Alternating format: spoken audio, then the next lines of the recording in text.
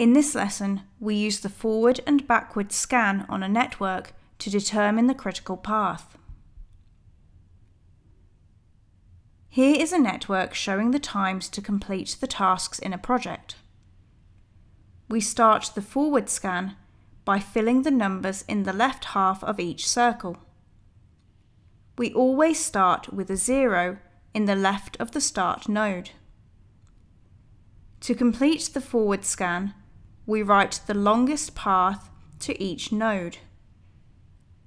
Task A takes 3 minutes, so 0 plus 3 equals 3, which we write here.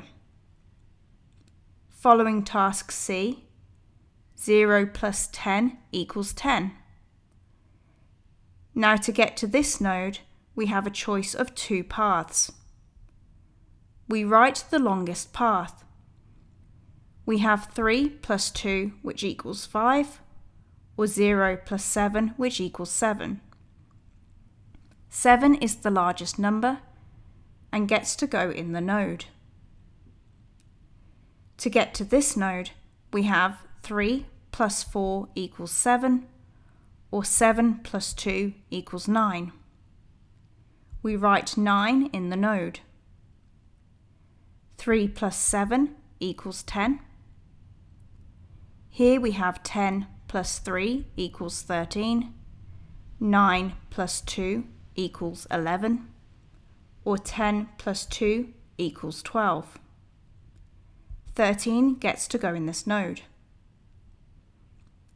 13 plus 5 equals 18. Finally, we have a choice of 10 plus 9 equals 19, 13 plus 10 equals 23, or 18 plus 4 equals 22. 23 goes in this final node. Having completed this forward scan, we can see that the minimum completion time of the project is 23 minutes. The minimum completion time is always the longest path through the network. The other shorter tasks can be completed while we wait for these longer tasks to be completed. Now we do the backward scan by entering this minimum completion time of 23 minutes in the right side of the final node. In the backward scan, we subtract the numbers on each edge and write the smallest number in each node. 23 minus 4 equals 19. To get to this node, we have 23 minus 10 equals 13. 19 minus 5 equals 14 but this must be written on the outside by task M, because only the smaller number gets to go in the node. Here we have 13 minus 3 equals 10, or 23 minus 9 equals 14. 10 gets to go inside the node, while 14 goes outside by task K. Now 13 minus 2 equals 11. 13 minus 2 equals 11 also goes here. 11 minus 2 equals 9. Here we have a choice. 10 minus 7 equals 3. We can write 3 in already because it matches the number on the left of the node. 11 minus 4 equals 7, and 9 minus 2 equals 7. Here, 3 minus 3 equals 0, which we can also write in because we know the starting node must contain two zeros. 9 minus 7 equals 2, and 11 minus 10 equals 1. The backward scan is now complete. The critical path is found where the left and right numbers in each node are equal. That is from 0, 0 to 3, 3 to 1010 to 1313 to 2323. That is A, D, J, L.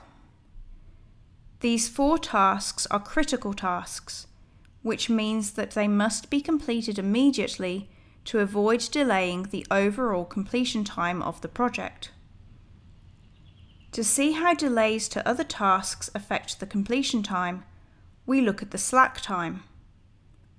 This is equal to the right number subtract the left number in each node. For example, task G is here. We look at the node before task G. We have 9 take away 7 equals 2 minutes. This means that G can be delayed for 2 minutes without delaying the overall completion time. So if G is delayed by 10 minutes, 2 minutes delay is okay, but the remaining 8 minutes will be added on to the project, so it will be completed in 31 minutes. The slack time for E is 7 minus 3 equals 4. This time we used the 7 on the outside of the node. If there is a number on the outside of the node, we use this. If E is delayed by 2 minutes, the project is not delayed because we have up to 4 minutes of slack time.